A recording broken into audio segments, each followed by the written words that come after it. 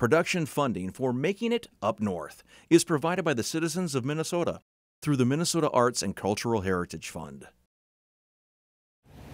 Everybody wants to be good at something. In fact, we want to be great at it. But what does it take? This time we'll explore learning the craft with a basket weaver in Grand Marais, a Duluth paddle maker, a craft brewer in Grand Rapids, and the head chef at Sarah's Table. Step inside. Let's see what it takes.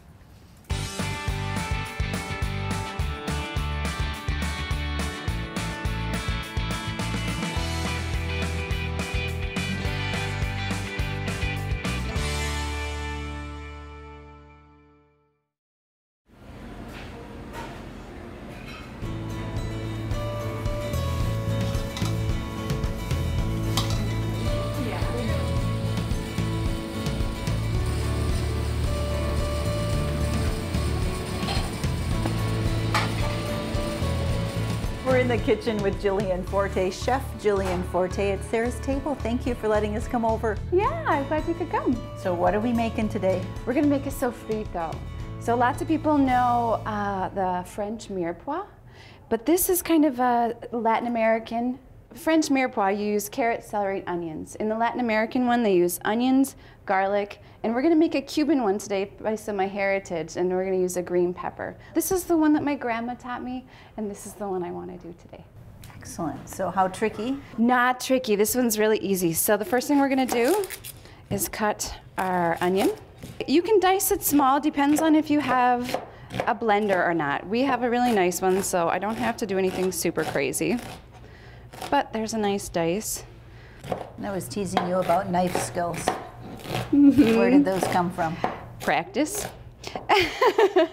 and not wanting to cut my fingers anymore, so I, I practiced and practiced.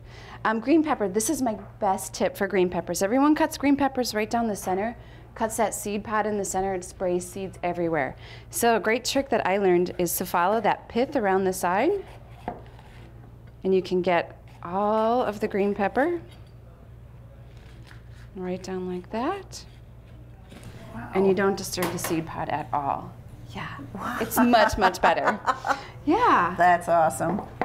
So then I'm just gonna give this a rough chop. So, who taught you to do this? Um, boy, you know, I think the first person I saw really working in a kitchen was my grandma, um, and she taught me. She taught me this recipe. And she uses this in all kinds of things. It's the base for her congri, which is her rice and beans, for her picadillo, which is a beef-based dish. When you get to the uh, actual recipe, you can't tell what the flavor base is because you can't see it. You just can sense that aromatic feeling, and, and it's, it's kind of like the secret ingredient because you can't see it. But it's really not that secret. But Well, it's less secret now. anyway. yes. But what a wonderful way to add flavor. Yeah, and it's very simple. So we're just gonna pop that in there. And so after we have it fully blended, it just looks like this, this blended thing. When you think about this, do you think about your grandmother? Do you think about those hands that taught you? I do. So I have a sofrito on the menu right now that I use red peppers. I actually use a piquillo pepper, and I use tomatoes. And then I add a chicken stock to it, and saffron, and shrimp shells. So it's a little bit of that base, the same base as this, but I've layered a bunch of different things on top of it. So when I did create that recipe, I was thinking about my grandma. She was like the base layer, you know, it's like the base of my learning is the base of my recipe, and I build up from there. Fantastic. Thanks for showing us your tricks. Yeah.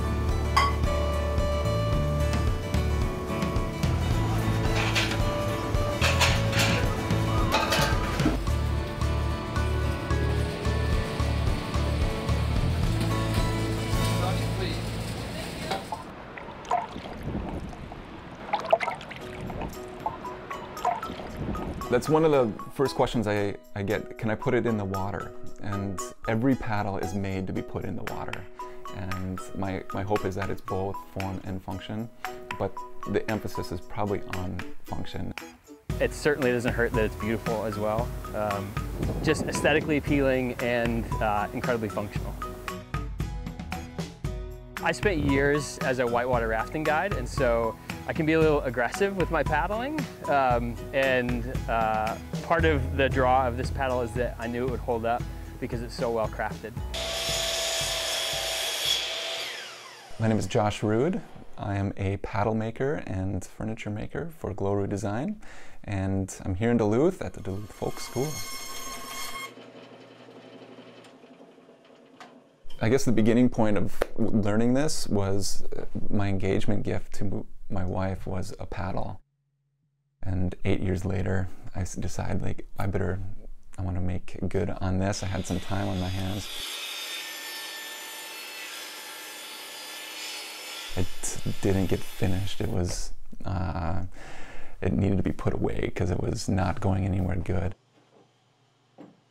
part of the learning for me was uh, a couple friends that had worked for a paddle company that was here in Duluth.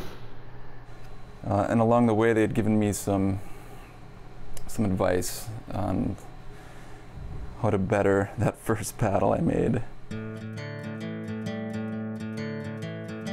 I got this book on paddle making, and uh, some of these shapes aren't typically ones that you can find anymore. And so it was something that was new, and I grabbed onto it and ran with it.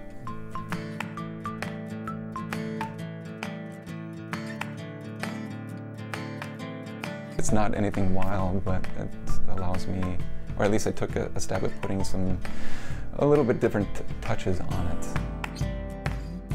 This design was one that I had made and my wife uh, liked that style and so this one was, uh, the first one was given to her um, as the one that she has kind of chosen. I had been making a number of, of paddles and people, some people have seen them and bought them, and then they had said, you should really go to one of the shops in town and, and see if they'll sell them. And so I went to Frost River and had driven in and parked in, the, in their um, parking lot and sat in the car for at least 10 minutes contemplating whether I was going to do this and then got out with my paddle and was walking towards and the shop and I actually walked back and sat back in the car for a bit and finally said I just gotta just gotta go in and went in and asked if they'd be interested in displaying my paddles and having them for sale and and he said sure that'd be great. This is the Norwegian letter ur with the, the line through it is a paddle.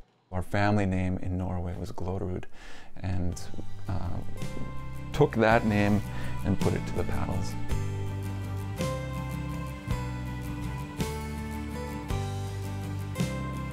When you grow up in Minnesota or spend a lot of time on the water, um, you can't explain to people, but there's something about boats and paddles and water that's in your blood. And uh, so it's great that Josh is sort of part of this, this tradition of, of uh, craftsmen who's, who's honoring you know, all these people who came to Minnesota for the love of water. Brought our kids in for the first, their first Boundary Waters trip. I think that's probably uh, the most fulfilling piece for me is to have something that I made in my hands uh, as we move across the water.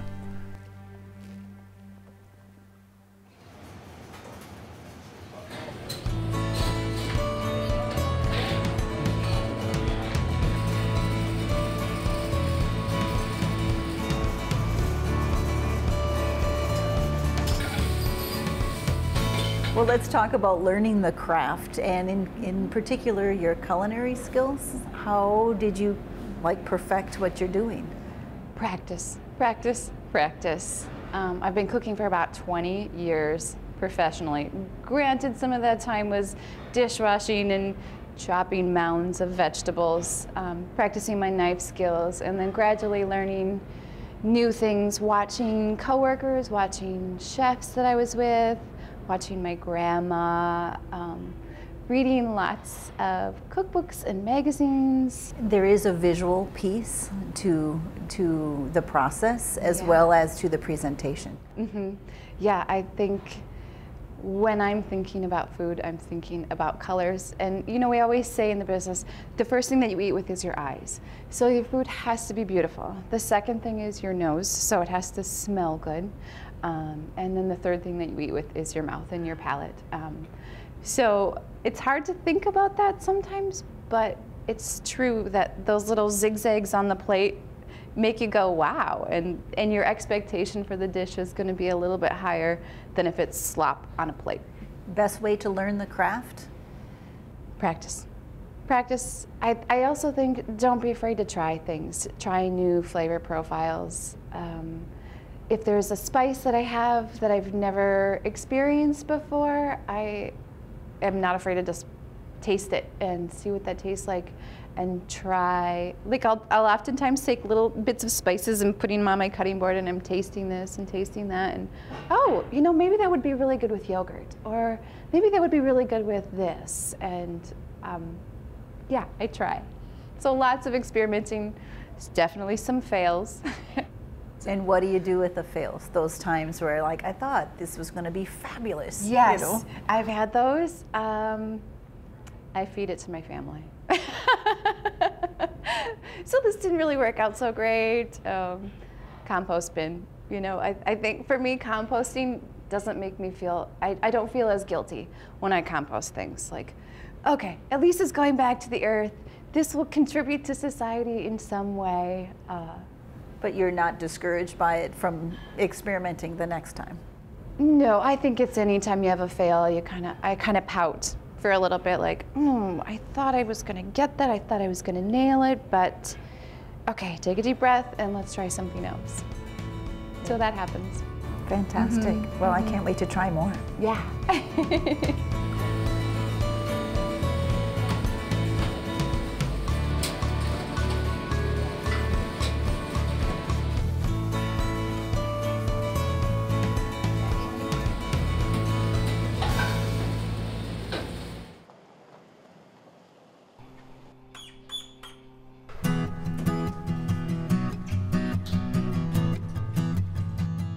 are making our Traveling Jack IPA. But uh, we use a lot of, a lot of malt from England and Germany and uh, Shakopee too, actually. Um, some good malt from the Twin Cities. So I, I learned uh, a lot from my dad. He was a home brewer when I was growing up. Um, made a lot of beer and wine and, and whatnot. I, I was fortunate enough to meet uh, a guy starting a brewery in, in Lino Lakes, and he kind of took me under his wing and showed me how to do it on a commercial level. And uh, I'm wearing their shirt today, actually, Hammerheart.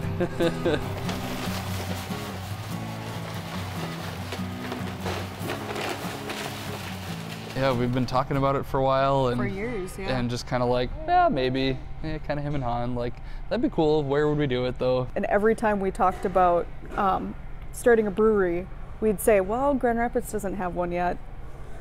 Maybe we should go that route. And if we're going to have a family, it'd be nice to be um, closer to my family or, or to his family to um, help us out in the process of starting a brewery. So it just kind of all culminated into one big life project. yeah, right. we definitely enjoy chaos in our lives. Yeah, I guess. we thrive in chaos. We really do. Yeah. you see a lot of a lot of brewer systems. As the bigger you get, the the more automated and the more uh, you know. There's different rakes and stuff to push things around. Um, yeah, we're uh, we're happy to be doing it this way. So it's it's actually a lot of fun. Ready for the yeah, we're ready for you. Yeah. We got some wheat. Oh yeah. Oh yeah. So I gotta say, I'm kind of excited to go canoeing next year after been doing this for a while. just gonna rip through a river, just power down. My wife, who's my business partner here, she she helped me dump some of the bags the first time. uh, but the whole, we have a very small, 10 almost 10 month old at home, so so we're we're doing a lot of juggling in this first year. Yeah, we, we switch off so much. Um, where he'll maybe brew for the day, come home, and then I'll I'll head in, or um, he'll pull the whole day, and then during the weekend, then I'll I'll work the the weekend shifts, for example. Kind of how to scale up uh, recipes has been challenging. A uh, bit of trial and error of just kind of what I what I think some beers were going to be and what they actually turned out to be. At this point, we're eight eight weeks in of actually being operating and open, and um, you know, brewing is pretty second nature to me at this point. I was brewing commercially for the last three years and homebrewing for what, another three three years before that. Yep.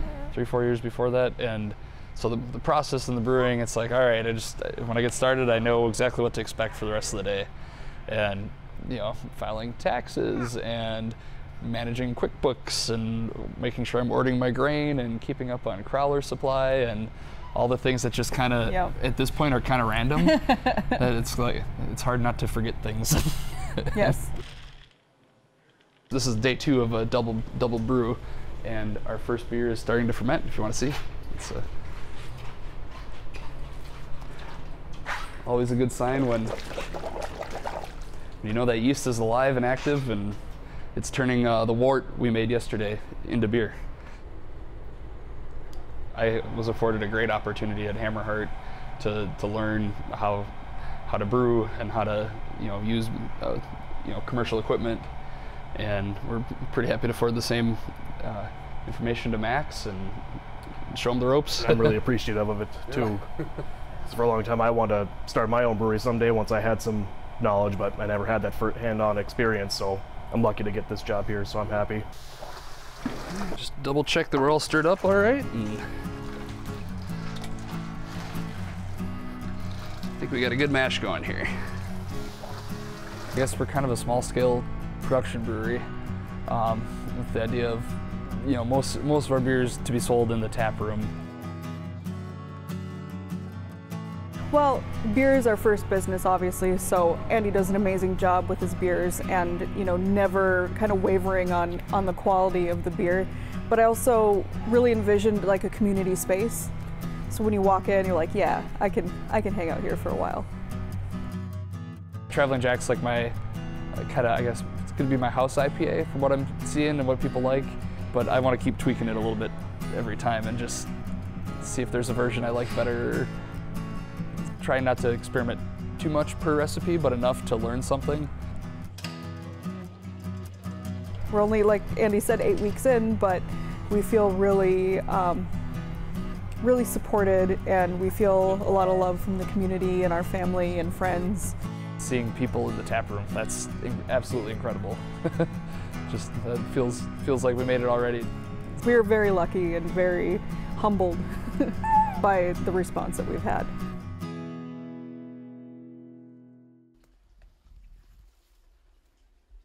So yeah, it's mushroom season. It's hard for me to turn my mushrooming eyes off because I'm just constantly scanning.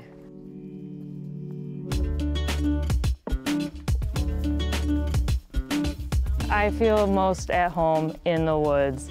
Uh, and like we've been looking for mushrooms, I'm always looking for what else is in season right now. Bingo, lobster mushrooms. So you can just barely see them off the trail, but they're back here. So these are two birch trees that were harvested three years ago. Um, got a permit here from the DNR. Um, and the better bark is up high. I get it in the summertime when the wild roses are in bloom. Sap's running, three weeks. I got three weeks to a month get all the bark I need for the whole year. It's such a sensational time because of the feeling of the bark and it's wet and the sound of it popping off and the taste of the sap. It's, it's yeah, that's my favorite part of the basket weaving.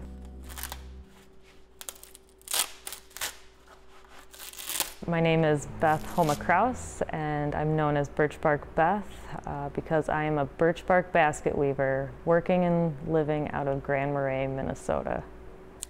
It's kind of like pages of a book. There's many, many sheets, and every year it will grow another layer of bark, but grows on the inside layer. I will have a project in mind, but the trees definitely tell me what kind of project I'm going to make because um, they'll split in a way that I can control the split somewhat, but they'll split how they want to split too. And I'll have different piles of different thicknesses of weavers, different lengths of weavers. And so usually I'll start with like, I want to make a backpack or I have an order for a briefcase or something like that, usually a bigger thing.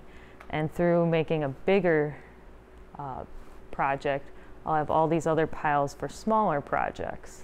And then I usually will make them all at the same time.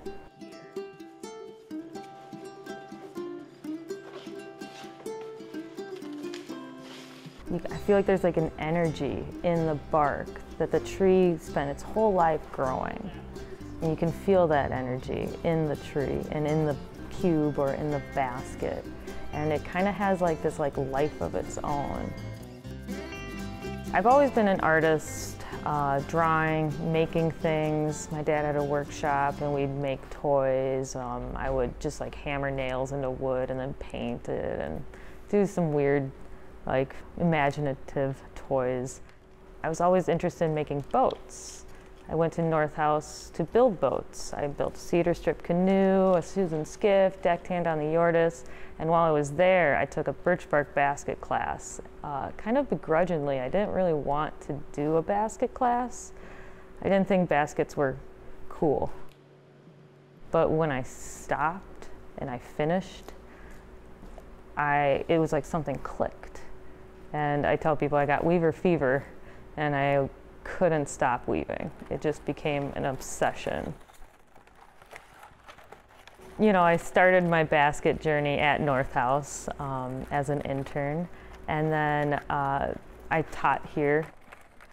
We see building future craft instructors and future master craftsmen and women as part of our mission. We can't teach traditional Northern craft if we don't build the teachers. And that's what the Artisan Development Program is really trying to do. They called me last spring, or this spring, uh, and said, we got this program we're going to try to start called the Artisan Development Program. The program really functions as an incubator where they get to work on their craft, work on learning more about teaching, and be able to really focus on what they're doing. So I asked my fiance, like, I'm gonna have to move up to Grand Marais and do this. Should I do this? And we both were like, well, we'd regret, I'd, I'd regret it if I didn't. What we're hoping that the program offers Beth is a chance to try new directions, to experiment with different materials, and to really build a body of work. So she's not producing the same form over and over because that's what sells best at the next show on the calendar. I looked at all the masters and my mentors and asked them, you know, like, how long have you been weaving and how did you get so good? And they said, you know, you just got to keep doing it. And I thought, you know, I'm, I'm almost 30, and if I don't dive into this now, when am I? And I need to start accumulating these years of experience. So I left my job and just full time went into basketry, and it was scary. Uh, and every couple of months I think, what am I doing? Basket weaving? Is that a job? But it is. It doesn't necessarily get easier. Uh, your family will have doubts. Your friends will question what you're doing. And you yourself will be like, wouldn't life be easier if I just had a normal job? But I don't think I'd be happy with a normal job.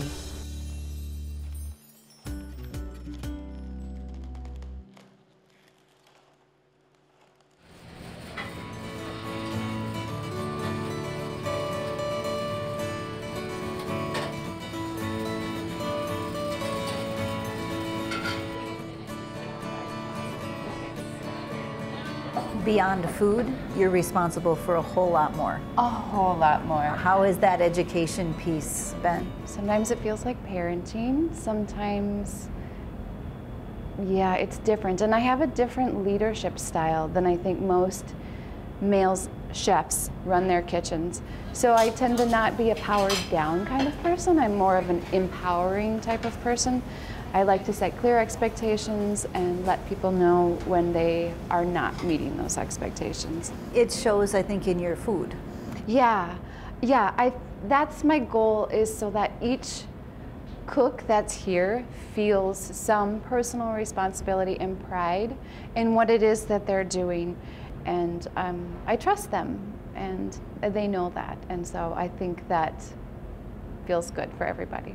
Do you feel like you're developing the next generation of, of chefs, I- or do you see that happening? Yes, I do. There's, you know, the, the, the entry into a kitchen, of course, is the dish pit.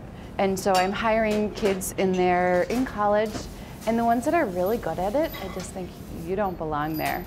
And if they show an aptitude and a thoughtfulness, then I can bring them into the kitchen and start training basic knife skills and basic sauteing and and things like that. So that's really fun to do, I think. And I think everyone should learn how to do that because everyone's going to eat three meals a day for the rest of your life from now until you die. So I always think it's good to show people those things. Yeah. Thinking about learning the craft, food is a good craft to learn. Yeah, I think everybody should know how to cook. Thank you very much. I appreciate you taking Yeah. the time. This is really fun. yeah.